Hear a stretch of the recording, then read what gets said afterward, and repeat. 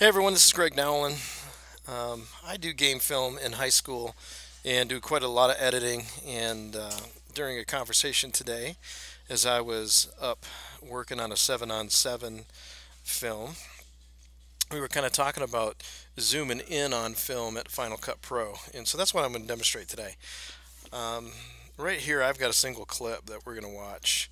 I'm going to pull down the audio because this is something I actually called and did some commentary on. But as you look, this particular play is um, is kind of a wide angle, and what we would really like to do is actually have that play a little closer into to the action. So I'm going to show you how to do that. So essentially, let me park this right here.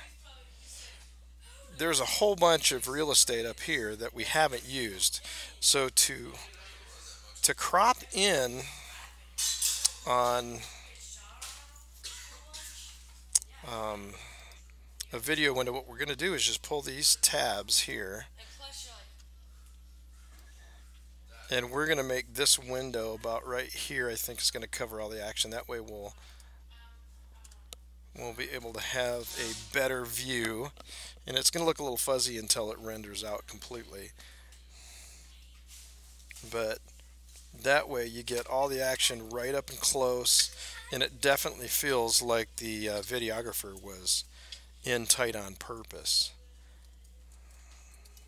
Alright, so again, this little tab here, you're going to go to crop and then you got to make sure instead of trim, we'll, we'll crop right there, pull it down, and when you're done, you're done. So hope that helps and that's definitely a way to help out your highlight film in Final Cut Pro 10 and if you have any questions feel free to leave them and I'll go ahead and answer them appreciate it again Greg Nowlin from Nowlin Studios and have a great night